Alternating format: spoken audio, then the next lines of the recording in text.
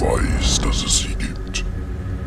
Vampire, Geister, Werwölfe.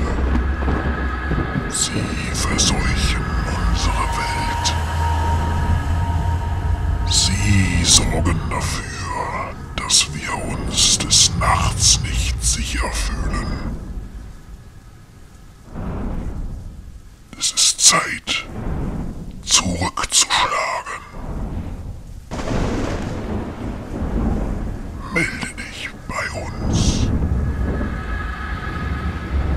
Christ.